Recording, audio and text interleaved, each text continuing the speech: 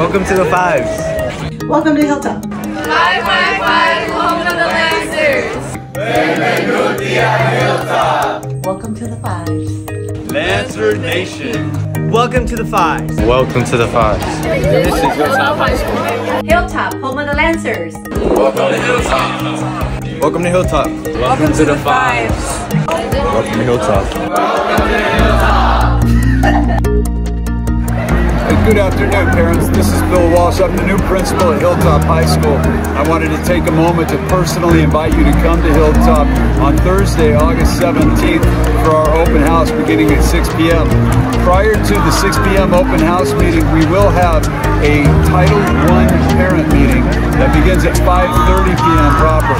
That's a great meeting for you to come and see how we spend money here for our Title I programs. Thank you very much. Look forward to seeing you on the 17th. Lancer parents, I'm Brianna Ibarra and I'm this year's ASB president.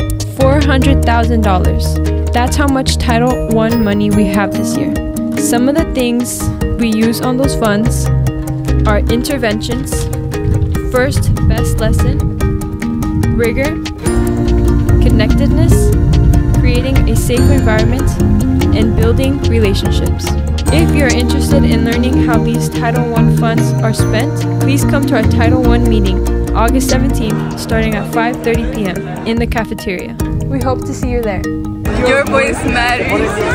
We need you! There's no us without you. There's no us without you. You're a huge part of what we do.